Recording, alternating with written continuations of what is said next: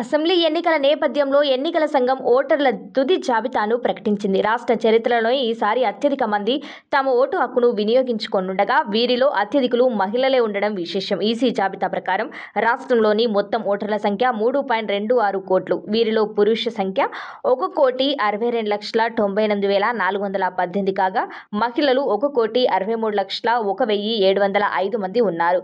Third gender ఓటర్లు రెండు వేల ఆరు వందల డెబ్బై ఆరు మంది సర్వీస్ ఓటర్లు పదిహేను వేల నాలుగు వందల ఆరు ఓవర్సీస్ ఓటర్లు రెండు వేల తొమ్మిది వందల నలభై నాలుగు మంది ఉన్నారు. పద్దెనిమిది నుంచి పంతొమ్మిది ఏండ్ల వయసున్న తొమ్మిది లక్షల తొంభై తొమ్మిది వేల ఆరు వందల అరవై ఏడు మంది ఓటర్లుగా నమోదు చేసుకున్నారు.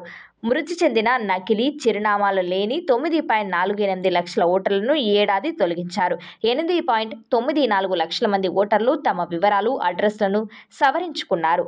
తాజా ఓటర్ జాబితా ప్రకారం రాష్ట్రంలో మహిళలు పురుషుల నిష్పత్తి తొలిసారిగా పెరిగింది. ప్రతి వెయ్యి మంది పురుష ఓటర్లకు వెయ్యి పాయింట్ రెండు మంది మహిళా ఓటర్లు ఉన్నారు. ఎనభై ఏండ్లు పైబడిన వారు నాలుగు లక్షల నలభై వేల మూడు వందల డెబ్బై ఒక్క మంది దివ్యాంగ ఓటర్లు ఐదు లక్షల ఆరు వేల తొమ్మిది వందల ఇరవై ఒక్క మంది ఉన్నారు.